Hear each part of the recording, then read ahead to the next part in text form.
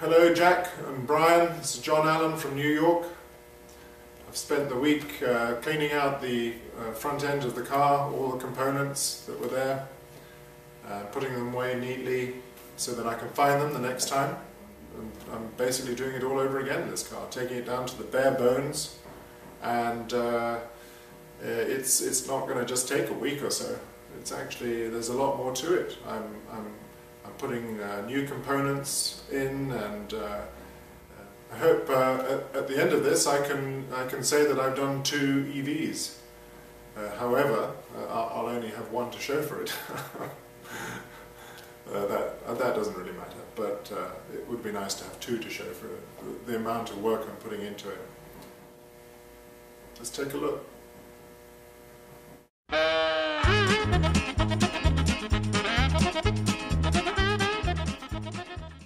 I've removed most of the stuff out of the uh, engine compartment or the motor compartment.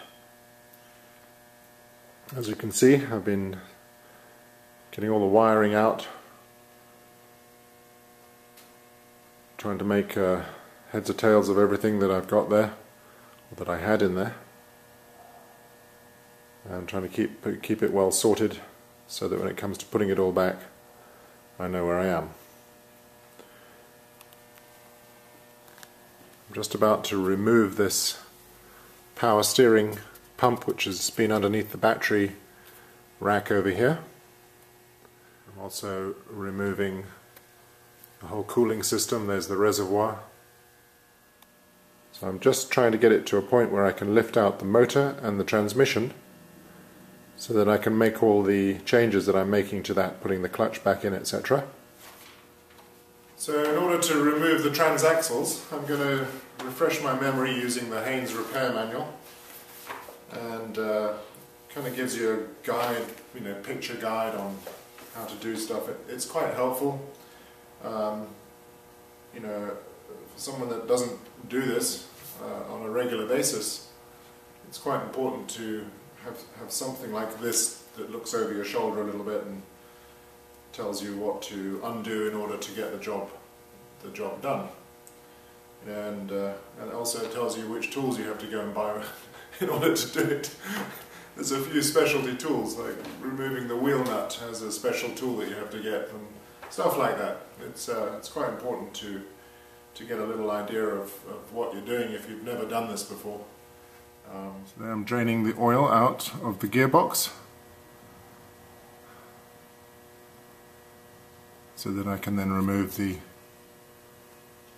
transaxle up here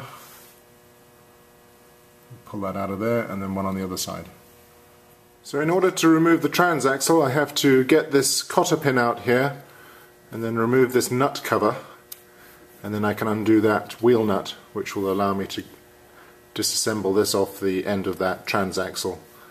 Um, that's my next thing that I have to get done. So I'm going to remove that pin, get this off and undo that nut.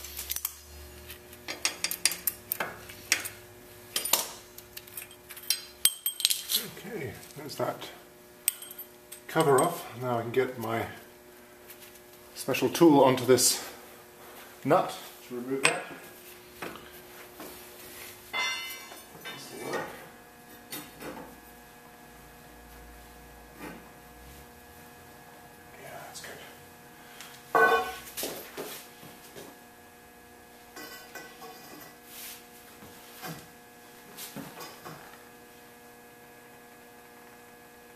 Oh yeah, easy. Beautiful. It helps to have something like this. Really huge piece of pipe.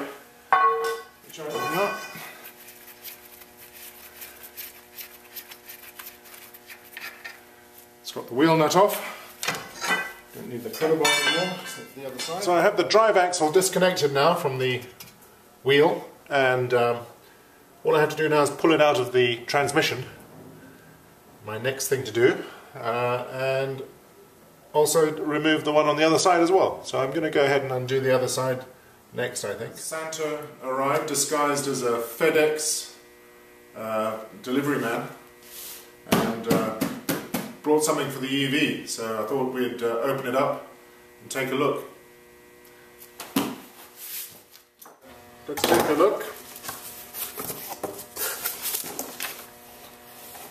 So this is from uh, Brian at Fast Brakes.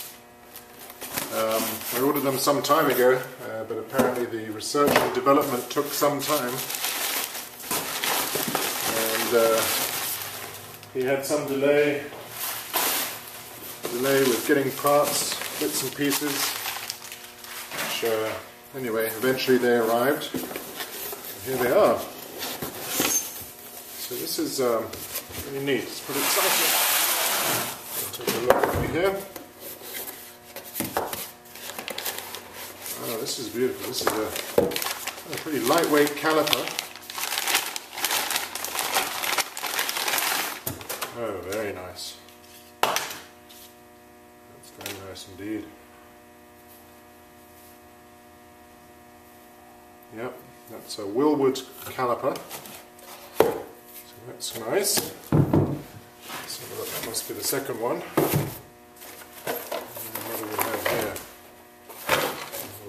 minute, but let's take a look at this. Ah, yes.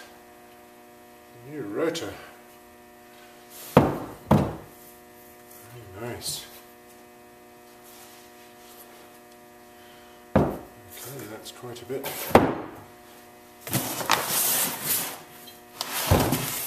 There we are, the nice rotors. So they've increased in size, in diameter, because I was having a little uh, little worry with that extra weight that I had. Oh, these are the pads. Very nice. Oh.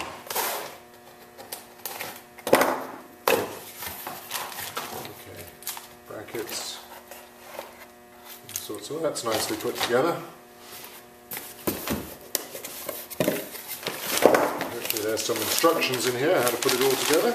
There's the other caliper. Very nice. Nice indeed. I think there's some hoses in there, but for different shipment. Those are very pretty. Always very exciting. So I've just done a, a, loose fitting of the uh, new discs here, the new rotors, with the Wilwood calipers. I just wanted to see if, um, if this is actually going to fit. I'm going to just get the, the tyre now, the wheel, and put that on and just see if it's all going to work, that this doesn't interfere with the rims, etc. So I'm just going to have a quick look at that. Just want to clear it, you know, they just got delivered by Santa, and I just want to make sure that they all work um, so that I don't have, you know, to wait in case they don't fit uh, when I get to putting the car back on the road.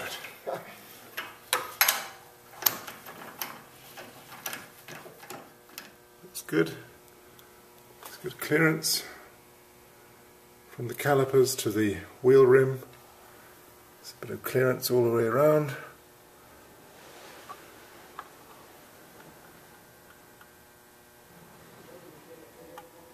So that was the week. Uh, it was exciting getting the, the new brakes and uh, it's, it's great getting further and deeper into the vehicle, uh, getting it all cleared out, so basically starting all over again. Um, and that's all I have for you this week. So that's me, John Allen from New York for EVTV. Have another great week.